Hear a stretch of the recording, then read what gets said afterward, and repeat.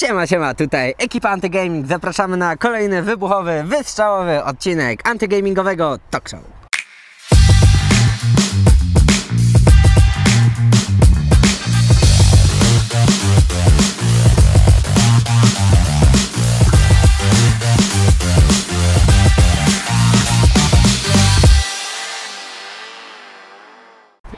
Tak, dokładnie. Ja jestem terapeutem Jestem listwa. listwa. Andrzej się będzie mówił o Pokemonach. My będziemy mówić o Pokemonach, w końcu o to chodzi w show, że będziemy wymieniać się naszymi pomysłami i tak dalej.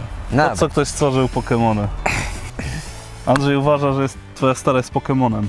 I teraz powie dlaczego. Nie tylko ja to uważam, ale zgadzamy się w tym, że e, oczywiście w świecie Pokemonów ludzie są także Pokemonami.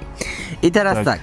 Ja tutaj chciałbym zacząć od tego, że najprawdopodobniej ludzie, którzy żyją w świecie Pokemonów, to nie są, to nie jesteśmy my. To nie są ci sami ludzie co my. Możliwe, że my jesteśmy jakimiś przodkami, lub to jest zupełnie inny gatunek, który wyewoluował. Tak. Tak za normalnie. kamieni ludzkich. Tak normalnie, a nie tak jak to mają w zwyczaju robić Pokemony. Tak. Czy ty się z tym zgadzasz? No, bo jest taka, to jest, to jest tylko to, taka teoria, to jest tylko, nic więcej. Na pewno twórcy tej serii nie mieli tego na myśli. E, ale wiesz, e, z jednej strony e, to jest tak, że my jesteśmy, my w sensie ja i on, jesteśmy zwierzętami, wy też swoją drogą. E, tak, Zaraz ci przyjdzie jakiś e, kreacjonista, powie, nie jestem zwierzęciem i stworzył Pan Bóg. Okej, w każdym razie e, mnie- mniejsza o to, jesteśmy częścią, prawda, królestwa, czy tam czegoś tam zwierząt, tak? No, tak samo Królestwa ssaków. my jesteśmy na planecie, która jest zamieszkała przez zwierzęta i jesteśmy zwierzętami. Ludzie w świecie Pokémon są na planecie, która jest zamieszkana przez Tak. Pokémony, więc oni są także Pokémonami. To Dokładnie. jest na pewno. Aczkolwiek ja jeszcze mam taką pewną teorię, że e, ludzie są Pokémonami typu psychicznego i każdy z nich ma umiejętności e, psychiczne. No Ale no, rozumiem, że bazujesz to na tym, że jest kilka trenerek, czy tam trenerów, Wcale nie. A na czym? Ha! Zaznaczyłem, że każdy ma umiejętności psychiczne No tak. i to jest tak, że wiesz, e, jak każdy potrafi, prawda, zrobić kilka pompek, a niektórzy potrafią zrobić 200. Tak e, Sabrina i ci inni tam psioniczni, No. to oni po prostu mają znacznie silniejsze niż większość. Ja uważam, że w świecie Pokémonów to, że Pokémony są posłuszne i lojalne względem swoich trenerów, to wcale nie jest efekt przyjaźni i wspólnego treningu, tylko to jest efekt bardzo słabej kontroli umysłów, którą posiada każdy członek e, gatunku ludzkiego. Według mnie w świecie Pokémonów każdy ma bardzo słabą i w ogóle niewyczuwalną e, umiejętność kontroli umysłu. Jest ona zbyt słaba, żeby, przynajmniej u niektórych, zbyt słaba, żeby wpłynąć na innego człowieka. Aczkolwiek e, Pokémony jako istoty o mniej roz... przynajmniej niektóre, to trochę można by tam się kłócić, że psychiczne byłyby silniejsze, ale mniejsza. Pokémony mają mniej rozwinięte mózgi, mniej złożoną świadomość, dlatego my jesteśmy w stanie wpływać e, na nie, wpływać na nie. I teraz tak, to, to by znaczyło, że ta e, kontrola umysłów jest na tyle słaba, że my nie robimy tego świadomie, więc może i rzeczywiście aż chcę kochać swoje Pokemony i komary. I komary, komary to też są Pokemony. Tak, i być ich najlepszym przyjacielem i wspólnie trenować, żeby zdobyć razem świat, ale tak naprawdę aż według mnie wpływa na ich biednym, maluczkie umysły. Mi się wydaje, że Pokemony są posłuszne ludźmi, bo im się to opłaca. Bo zauważ, że Pokemony, które są trenowane, stają się silniejsze i ewoluują, a Pokemony, które sobie chodzą dziko, zawsze są słabsze. I No nie, nie nieprawda. potrafią się nauczyć niektórych ruchów, które się TM-ami uczą i HM-ami. Więc być może naturalnie Pokemony wydedukowały tak wspólnie, wspólną świadomością, albo w ogóle każdy po troszku, że bardzo się opłaca trzymać z ludźmi, bo one cenią nas silniejszymi. Dlatego, wiesz, no wilki się wyewoluowały w psy, dlatego, że wiesz, z ludźmi było i łatwiej. I może Pokémon robią dokładnie tak samo. Co z tego, że każdy pies może ci skoczyć do gardła i cię, wiesz, pożreć tak naprawdę, może nie każdy. Ale normalny pies, taki duży pies, to mógłby cię zagryźć na miejscu, ale tego nie zrobi, bo wiesz, że mu dajesz jedzenie i on się czuje przy tobie bezpieczny i się rozwija. Na przykład go uczysz sztuczek albo uczysz go różnych innych rzeczy. No, Pokemony pewnie tak samo myślą. Oglądałeś może odcinek e, Pokémon, w którym aż zdobywa Charmandera? To było, że on nie chciał go słuchać, to Pikachu nie chciał go słuchać. Nie, nie, nie. Kiedy zdobywa Nie. Charmandera? Jak zdobywa Ash Charmandera? Ash nie łapie Charmandera, tylko znajduje porzuconego przez innego trenera Charmandera e, gdzieś tam e, w górach No tak, ale w ciągu teraz deszczu. pytanie, czy my się- I teraz No dobrze. ten Charmander nadal i to przez bardzo długi czas jest posłuszny temu trenerowi, który zostawił go na śmierć. Ten trener kazał mu czekać w tej burzy, gdzie wiedział, że on umrze i ten Charmander cały czas tam siedział. Czy teraz ty powiedziałeś, że uważasz, że Pokémony są na tyle inteligentne, że potrafią podjąć decyzję, że z ludźmi jest im lepiej? Czy ty uważasz, że ten Charmander w takim razie podjął Znaczy psy są decyzję? na tyle inteligentne, że uznają, że z ludźmi jest im lepiej, czy instynktownie to czują? Cześć, bo to ja nie powiedziałem, No że tak, tylko one zwróć- mówią, o świadomie podejmują decyzje, tylko być może instynktownie czują, że tak jest, że obserwują i swoich kolegów Pokémonów, którzy z ludźmi mają lepiej. I dlatego oni uważają, będąc tylko Pokémonem, że skoro on mu kazał czekać w deszczu w burzy, to być może tak trzeba. Tylko jak będziesz No. się znęcał nad psem, jak będziesz go katował, to wtedy ten pies dziczeje. On już nie będzie ci posłuszny, on No ciebie zacznie Pokemony, atakować, no. jak go będziesz bił i tak dalej. A ten Charmander dalej Dobra, ale teraz, bo teraz kolejna rzecz. Ty się opierasz, wiesz, o anime, które jest zrobione zupełnie niezależnie, oddzielnie przez innych ludzi. proszę bardzo. Ty tylko na grach, bo E. teraz jak jeszcze, możemy jeszcze dorzucić wiesz, mangę i tonę spin-offów i wtedy w ogóle cała, żadna teoria nie będzie miała sensu. Zawsze się znajdzie jakiś tam Charmander, co moknie w burzy. Pamiętaj, że te Pokémony w anime były bardziej jak na ziemi niż w grach, nie? To w anime No na przykład tak. były samochody. E, To jest jakby ta jedna część, że teorie na podstawie gier Pokémon, szczególnie tych wcześniejszych, według mnie wszystkie są takie jakieś niedociągnięte, bo sama fabuła i stworzenie świata w tych grach jest bardzo słabe swoją drogą. No właśnie dlatego Teraz są tak teorie. Myślę właśnie... Jakby były wszystko precyzyjnie powiedziane, nie byłoby miejsca na teorię. Szukam od ręki, ale myślę sobie na przykład, że slowpoki, które były hodowane przez Team R po to, żeby im odcinać e, ogony na jedzenie, nie zbuntowały się przeciw Team R. Ale z drugiej strony slowpoki są trochę takie wolne i leniwe, więc może to nie jest mogę w ogóle nie strzaić, że oni. Bo te slowpoki zawsze żyły w jakichś innych rzeczywistościach. Przynajmniej tak były też przedstawiane jako takie. E, w sumie mają wszystko jedno. Może miały też ogony jak jaszczurki im odrastały. To w ogóle może Pokémony, które są wykorzystywane przez e, różne grupy przestępcze, to czy one nie zbuntowałyby się? A czemu? A jak są dobrze traktowane? A co z tego, że do czynienia zła? Mieć zespół R, dobra, to w sumie mangowy, znaczy ten. e, No ale nie wiem, czy tam było powiedziane, że ci każdy trener z Pokemona jest zły w zespole R. To, że każe Pokemonom zabijać Pokemony z dobrych ludzi, to wiesz, dla Pokemona wszystko jedno, kogo bije. A on też go trenuje, też go wzmacnia i ten Pokemon też się czuje lepiej, nie? Wbrew pozorom zespół R nie był takim zespołem, który chciałby wiesz, skatować wszystkie Tak. Pokemony. To, że prze, przechowywał je różnie, to wiadomo, no, te, które mieli w dupie, no to mieli w dupie, ale te swoje Pokemony traktowali dobrze. No tak, to fakt faktem, że zespół R według mnie jest naj, najbardziej logiczną e, drużyną przestępczą, którą poznaliśmy w świecie Pokémonu, bo oni przynajmniej mają jakiś odpowiedni cel, który nie ma który nie zakłada zniszczenia całej planety, więc jest spoko, oni po prostu chcą zarobić, nie? No, no czyli widzisz. Mama zgatuje, no. Co znaczy, że Pokemony, czyli znaczy, że miałem rację. Co? No tak, znaczy, że miałem rację, że Pokemony przyczepiły się do ludzi, żeby się rozwijać. I w grze nie, nie ma słów, żeby na, Niech nie ma miejsc, Ja- gdzie jestem to, gotów- to, tego nie było potwierdzone. Tak, jestem gotów Ci przyznać, że tutaj rzeczywiście masz, e, masz zdecydowanie rację, chociaż nadal podtrzymuję to, że ludzie są typem psychicznym.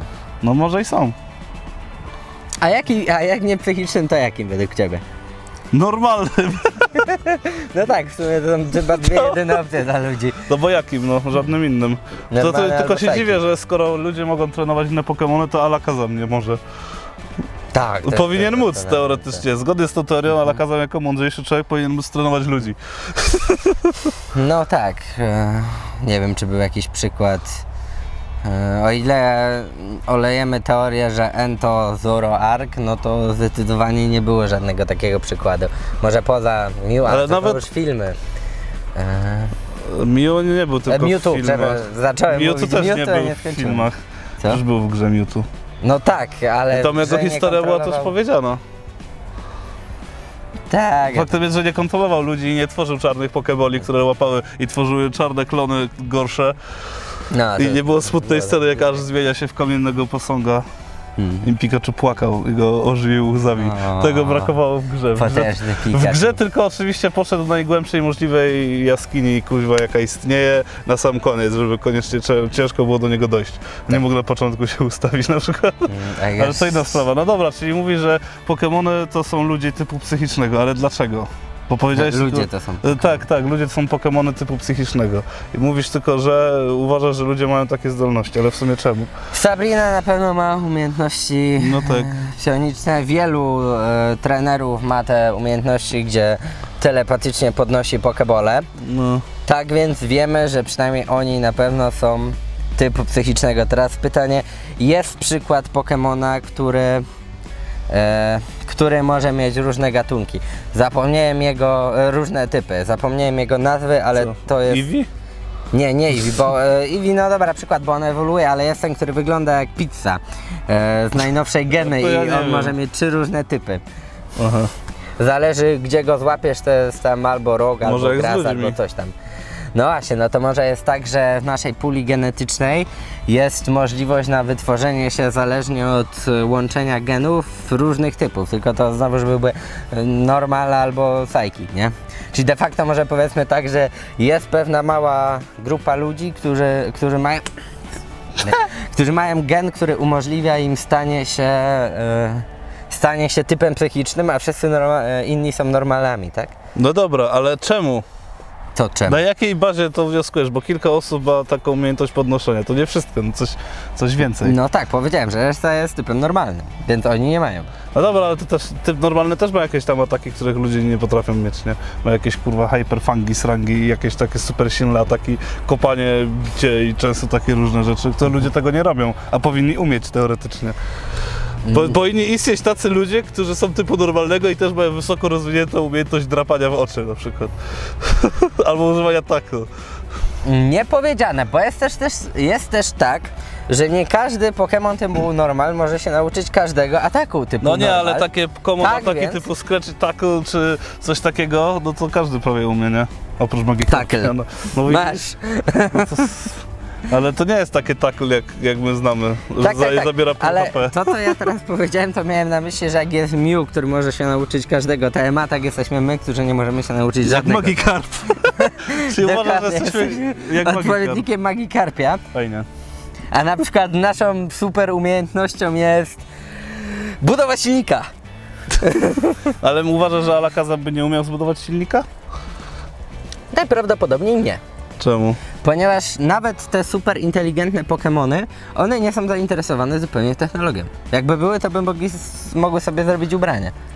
No, A nie robią tego, żyją sobie w jakiś tam... Może po prostu jest im ciepło i nie muszą. No tak, ale wiesz, e, nie możesz bez technologii opanować świata i stać się dominującym gatunkiem.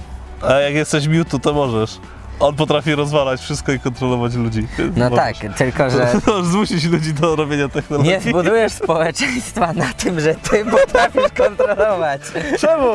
Znam takich, co próbowali. kiepska podstawa, nie w ten sposób. Chyba, że znasz Mewtwo. Chyba, że. No dobra. Uważasz, że ludzie są typu psychicznego i mogą być Niektó- typu... nie, nie, niektórzy uważam, że typu ludzie normalnego? mogą mieć e, dwa różne Tylko dlatego, typy. że kilka osób potrafiło podrzucać pokebole w powietrze, tak? Tak. Dokładnie, zwróć uwagę, że powiedziałem, że pewna grupa ma e, jakiś tam kod genetyczny, ma jakieś Ale nie geny, zastanawia się, czemu pokemony psychiczne wyglądają jak ludzie. Są antropomorficzne tak zwane. Mają ręce, nogi, głowę. Wiesz, twarz ludzką. Jak... E, Zatańczyłeś teraz. Psychiczny atak. tak. To jest proste, e, to akurat jest proste. E, dobrze wiemy, że tak jak na naszej planecie wszyscy gdzieś tam daleko, daleko, wszyscy mam na myśli my plus każde zwierzę, plus każda roślinka mamy jakiegoś tam wspólnego, prawda, prapradziada. Banana. gatunkowego, że tak mówię.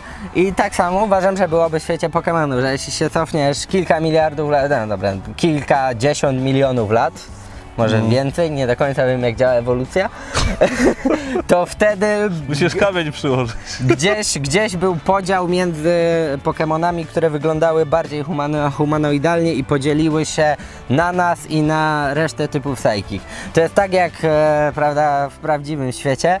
E, my jesteśmy tam spokrewnieni z małpami, tak, ale w Chyba ty! Ale w pewnym momencie oddzieliliśmy się od nich na tyle, że my poszliśmy w stronę technologii, a one w stronę jedzenia bananów.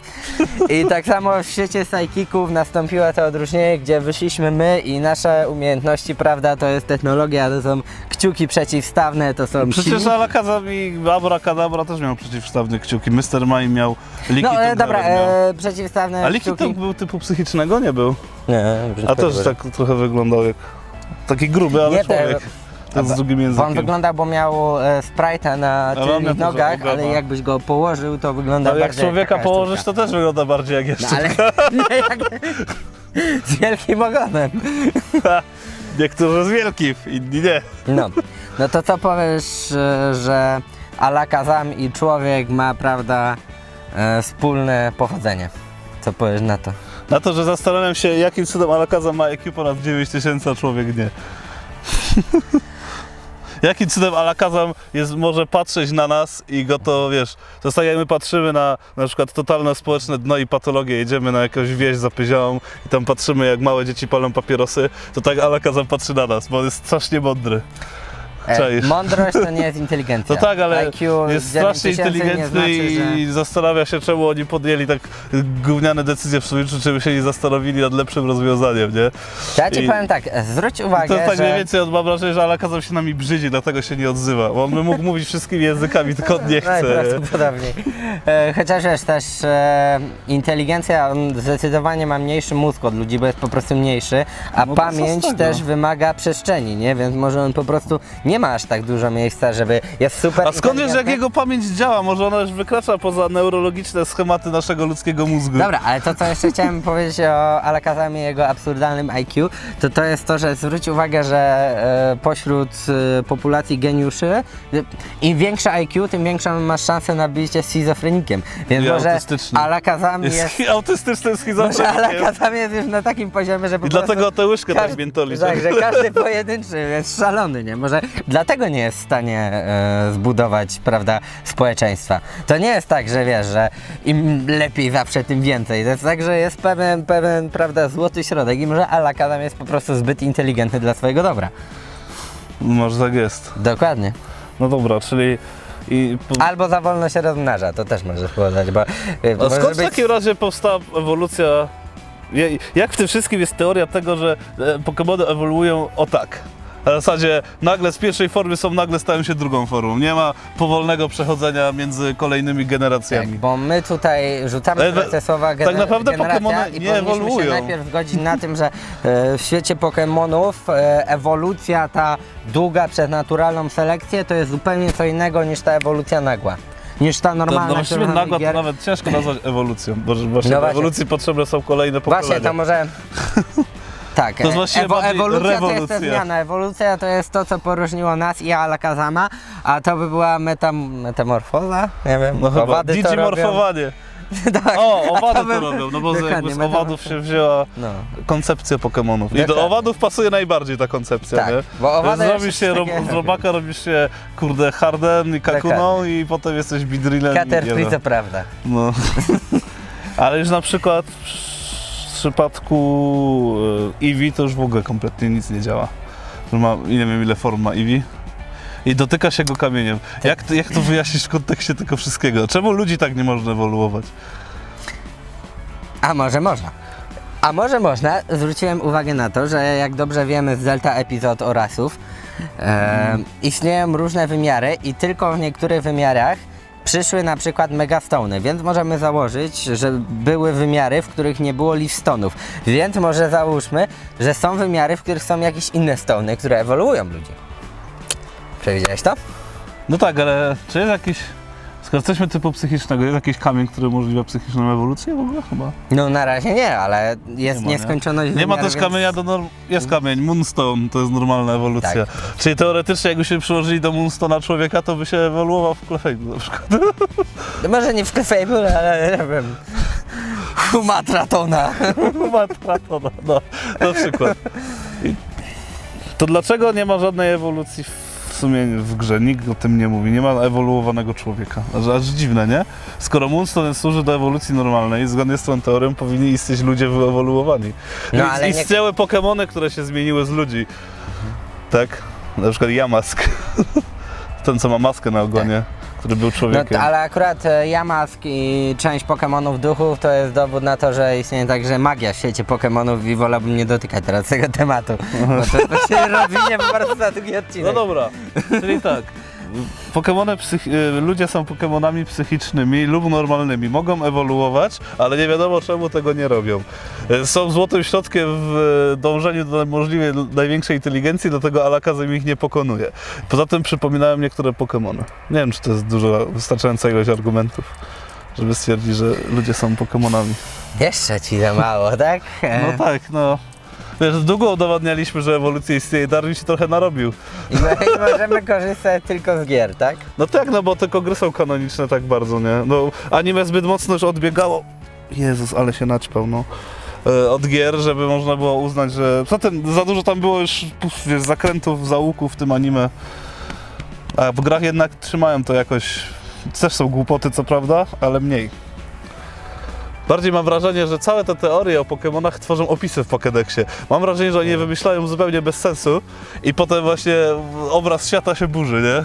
E, Jak gra, nie graliście w Pokémony X i Y, to na szybko 3000 lat wcześniej była, e, była wojna, w której król wykorzystał jakąś super broń, która zabiła gigantyczną ilość Pokémonów i także zmieniła jego samego. Więc co najmniej zadziałała na niego ta sama siła, co na Pokémony.